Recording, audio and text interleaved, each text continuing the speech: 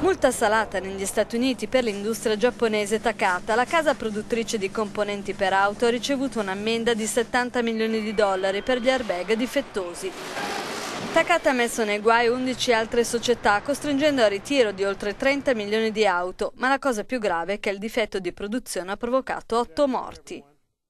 Gli airbag prodotti da Takata tendono ad esplodere e i frammenti del materiale colpiscono i passeggeri dell'abitacolo.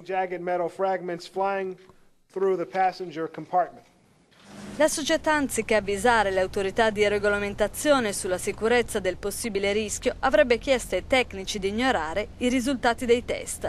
Un'ulteriore multa di 130 milioni di dollari è già stata inflitta a Takata nel caso non sia onorata la prima tranche.